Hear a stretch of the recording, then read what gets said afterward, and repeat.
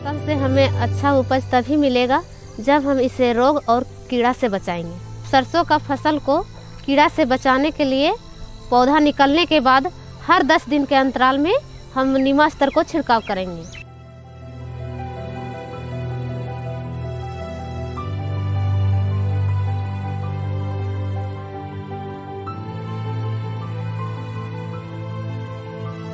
ज़रूरत पड़ने पर अग्नि स्तर और ब्रह्मास्त्र को भी छिड़काव किया जाएगा।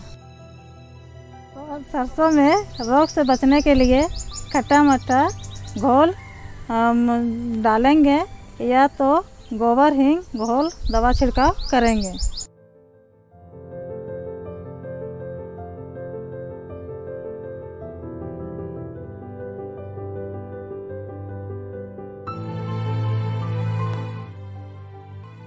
जब सरसों का फ़सल 75 परसेंट फली पीला या सुनहली हो जाए, तब हम इसे कटाई कर सकते हैं।